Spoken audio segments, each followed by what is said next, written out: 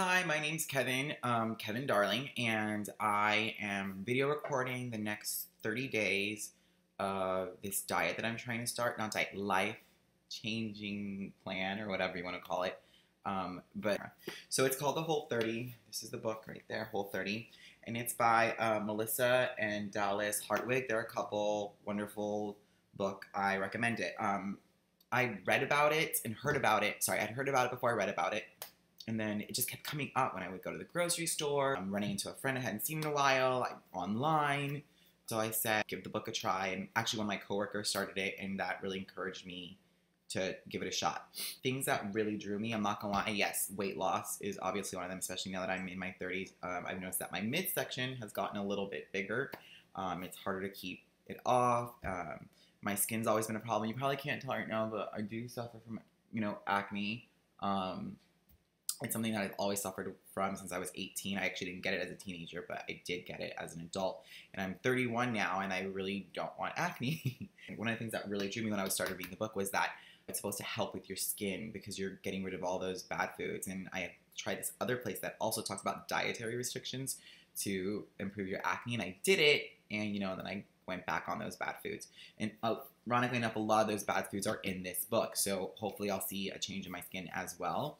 Um, so those are my personal goals: is um, getting my body in shape um, and to uh, eat and feel better.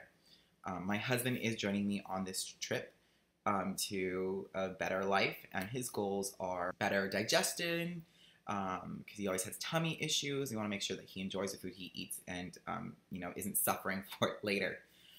so the hard part for me is going to be doing all the cooking and meal prepping. But today's day one. Um, I was gonna take a picture of what I made for breakfast, but I didn't. But it was really simple, so I'll just tell you what I did. So uh, the first thing I did was I got organic eggs. You don't have to get organic eggs, but Trader Joe's has them for like less than two dollars, and for me, I'm like, oh, that's great, and they're really, really big. Um, so I did that. So I did scrambled eggs. Um, I diced up some tomato and some onion first, and I sauteed it with some ghee. So you're not allowed any dairy, but clarified butter is the only exception to that dairy rule. So that's why I got clarified butter. And there is organic clarified butter and there is non-organic. This one's non-organic. The organic shit is like really expensive. Sorry for cussing. Um, it's about like six, seven dollars. This is like two dollars at Trader Joe's, and I'm on a budget. Okay, lady on a budget. Oh, scrambled eggs, and then I did sausage. So it's really hard to find sausage that doesn't already have sugar in it. So I googled a lot of recommendations, and one of them was um, just read the label. I hate reading the label, I know, but just read it. And Trader Joe's makes it really simple. I'm not at all affiliated with Trader Joe's. I just happen to live really close to one. So this one is uh, garlic herb sausage, right there, chicken sausage. And I'm going to read you the ingredients, and you can look at them here too if you want to take a quick snap at that. So the ingredients say uh, chicken that contains less than 2% salt, parsley, roasted onions, roasted garlic, celery juice powder, marjoram. I don't even know what that is. More, more, mar. I'm, I'm gonna stop reading.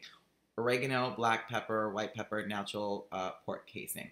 So no sugar, and it actually says zero sugar here.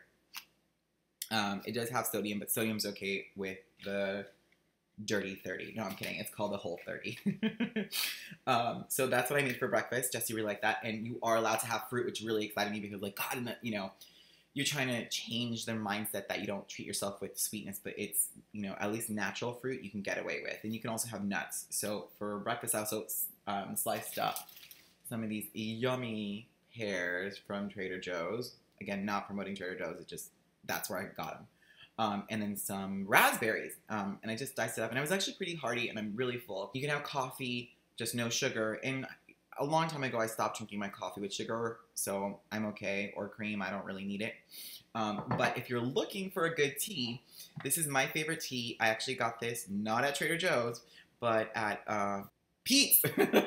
Peet's. I got it at Peet's, and it's called um, the Organic African Nectar it's so delicious. I started drinking this a while back ago on accident. I wanted tea. I was trying to get off coffee because I was feeling like, ooh, you know. So none of that. Uh, it's herbal. Um, it has no caffeine in it, and it was very um, yummy. Like it's got a sweet taste. And I've learned in the past, like anything that says rooibos in it is just delicious. And the Mighty Leaf is the brand, even though I got this at Trader Joe's. And yes, it's expensive. You might be able to find it cheaper online. So if you want to do that, that's fine. And I'm kind of bougie and I like my loose leaf. But um, they also sell them in the tea bags already if that's what you would prefer. And I need to stop looking down. Like I realize you're over there. You're over there. And I'm going to pause for a minute because I need to blow. And we're back, I think. Okay, it's on. Okay, the green light's on. Um, so I don't even know why I kept recording now because I'm pretty much done. I think I said everything I needed to say.